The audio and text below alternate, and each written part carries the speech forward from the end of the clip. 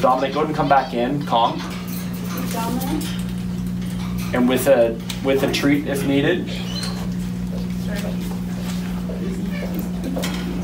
With and just slowly with a treat if you need it. See if you can get him to step up without biting. I'm going to give you just a series of different things here that you can work with. And everybody here is just going to be super calm and chill and and see if you guys feel and notice the difference.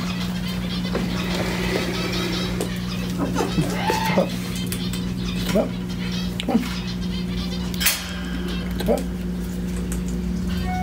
Come on. Step up. Step up. Okay, so going back up. Okay. So we didn't get it yet. This is what you experienced as a bird owner, right? Mm-hmm. Bird's not stepping up on him because he loves them, right? So, and what I would say is there's reinforcement from this behavior that's happening, and there's that heightened state that's getting reinforced through all of us having fun with it. So there's a lot of things that are setting Dom up for failure. And so there's a lot of different ways to, to get out of the situation. So the next step that I'm going to attempt is we mentioned training in a neutral space. This bird seems to really like attention. Okay, so I'm going to try to add a little bit of what we refer to as pressure. Okay, something he doesn't want means technically plus punishment, right? I'm adding something to decrease behavior. So by me pushing the perch out of uh, a little out of the situation, he's going to be a little uncomfortable on the perch, and he's going to be more comfortable on Dom, right? So this may or may not work, but this is where training is really fluid, and we want to work through this without getting bit.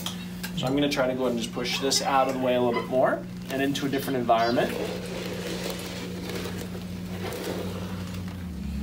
If at any point you feel like he's going to step up, just go for it. But it's if you don't, then don't. Step up. Step up. Step up. Step up. Okay, so I would back off. Back off. So there's no. Does he step up for anybody else? Oh, I've never tried it with anyone else. Oh. I live alone. Perfect. This is fun. You should see if he'll come to you. Because he's way calmer with you. What do I have here. He doesn't. He doesn't really have enough food motivation. Do you have an almond or, or walnut? Okay. Hey, buddies. Why don't you move him back to the center to get his attention? Will you step back? No.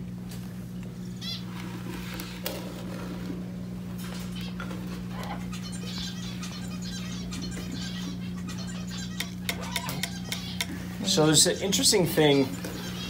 You notice the first time I approached from behind, gives me more time with a new bird to not get nailed.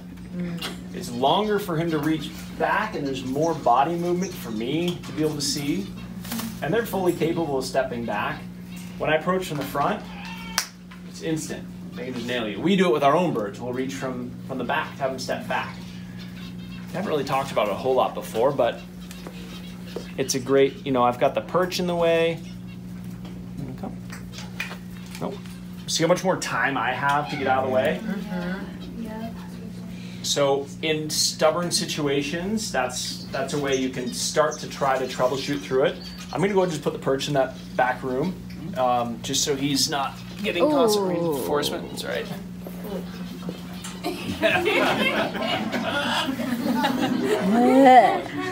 is the best? You'd think that you would be so used to seeing that. Uh, not like that.